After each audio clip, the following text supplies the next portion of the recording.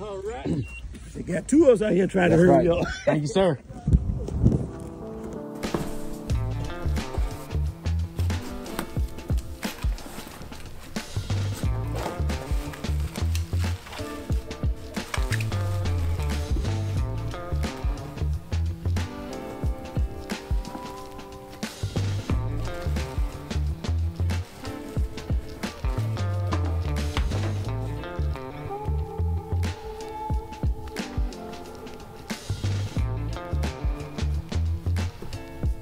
So today is a very exciting video for me. I was lucky enough to snag one of these jewels and I couldn't be more happy. The um, UV slider. I have not put my hands on one of these yet and right off the bat I can tell you this is feels very very high quality. Um, it's just looking at it and the, the all the attention to detail in my opinion looks very very good so far especially on just the rail and the housing UV3 XLSE housing with uh, the batteries may not be in it. Oh there they are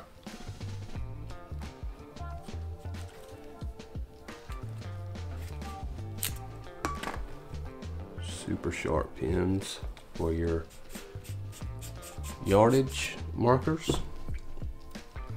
And I'm not reading any directions because I'm a rebel. So let's just throw this guy in here and uh, see where we're at. See where we're at. So this quick brake system, if I can figure out how to do this with one hand, open, push in. Got it. Oops.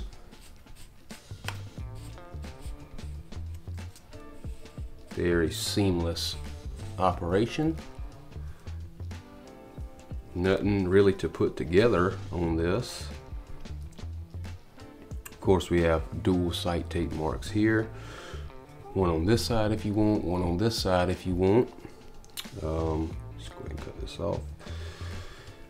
UV3XL housing, SE housing, still the same. These look like they have 19,000 pins and a 10,000 uh, bottom pin. Down there, your little, let me get a pointer. Your little tack pin down here at the bottom. If you can see that, that looks like it's 10,000. The rest of these look like 19 thousandths. So, um, of course, here's your lock here for you doing your yardage up and down. Very smooth. One lock back. Can override it like they say, but it is kind of hard to turn, which is probably not the best thing for overtime because of course you can override it, but it's you're going to wear something out eventually if you do it for years and years and years. So just one quick movement, unlock, rotate, lock back, shoot deer. Let's see what else we got.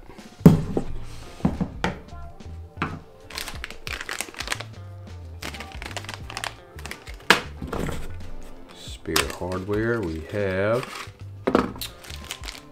uh, extra level, some Allen wrenches, another metal sight tape thingamabobber, some extra batteries, some extra screws, some more indicators.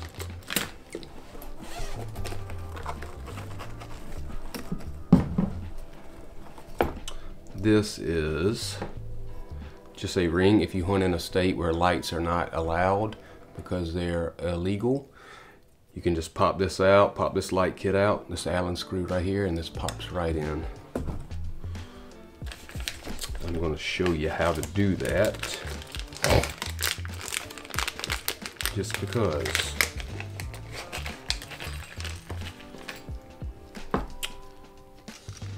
So, Allen wrench is included. Stick it in the stick it in the old hole here. Just loosen up these thread. These bolts will not come all the way out. Light comes out.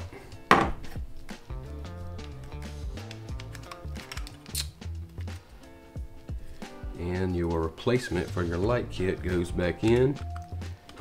Tighten your screw back up and you're legal in all 50 states.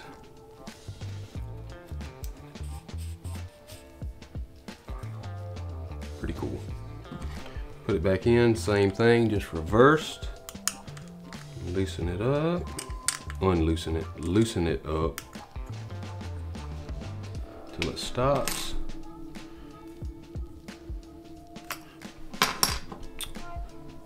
Pull the uh, no light bracket, I guess I'm calling it that, out. Pop your light back in. Pop your vis ring back in if it pops out. And tighten her back up. And there you have your back with your lights. Ready to hunt in the darkness. This is a three pin slash four pin.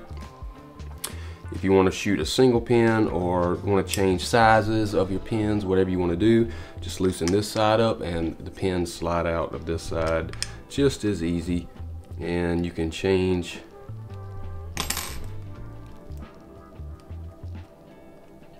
you can change, come on, you can change the pins out. Um, you can shoot a single pin, which I'll probably do that for tack. And back to hunting season, if you want to shoot a three pin, just pop your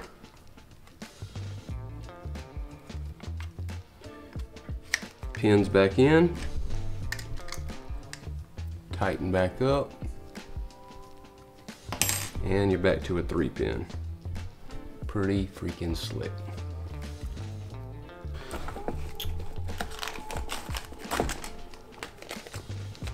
All right, we have a goodie bag directions very very nice directions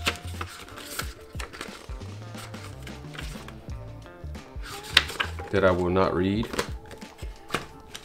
QR codes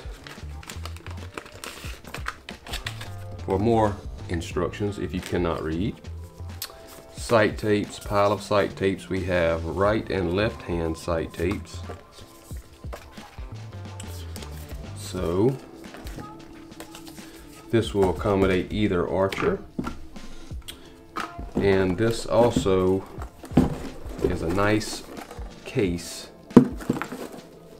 to store your sight in in travel. All you would do, pull it out. This is the bridge lock version. Pull it out your bridge lock rotate your sight all the way down, hit your little quick brake clip here, turn it down till your gears really, your wheel stops spinning, pop it right off. Back in the case, like that. All your doodads go back in this zipper part, zip it back up, and you're ready to go. Hard case, very nice. I'm extremely lucky to get one of these. Shout out to you know who you are. And I can't wait to shoot this thing a couple times. It's kind of snotty outside today, so we won't be able to shoot it today. But I will do a sight-in video with it, change some things around. Excuse me. May put my 10 thousandths pins in here. Maybe not, because I'm going to change this up anyway for tack and shoot a single pin. But that is a quick unboxing of the UV slider. Um, being I'm not going to shoot this for a while, I'll put it, put these uh, sharp guys back up. You want them very sharp. Sharp's not a bad thing. The sharper you can get these indicators, the more finite adjustment and um, I guess that's the right word, you can see on your yardage marks. If you got a big pin blob here, like this, say this Allen wrench, a big thick um, indicator, and you could be covering up three or four yards and uh, you really don't know where you're at. But with the sharp indicators, you can definitely know where you're at any time of your um, sight changes, I guess. Also, these green marks here per every 10 yards they were put there on purpose so you can look at them really quick in in the moment and as long as you're in those green marks you are within a yard of those 10 yard increments so you're going to hit within an inch of uh, that yardage so if I'm hunting and I have a buck come at 50 and I want to shoot I rotate down to five. I see my indicators on the green mark. I know I'm at 49 or either 51. I'm gonna hit right where I'm aiming. So that's an awesome feature.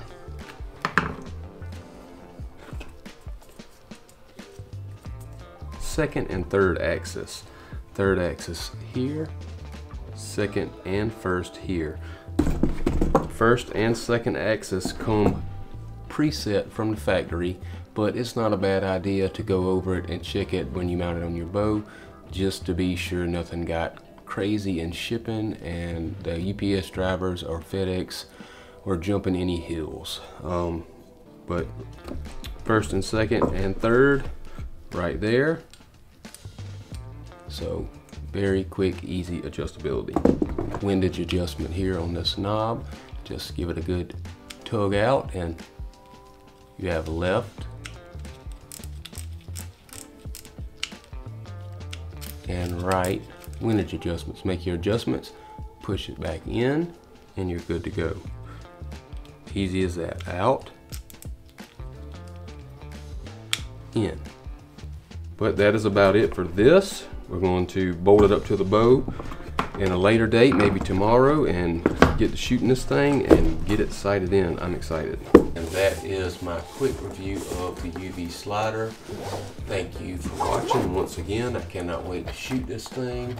So if you want to see it, if you're interested in it, don't forget to like, subscribe, all that good jazz, and we'll catch you guys on the next one. Peace.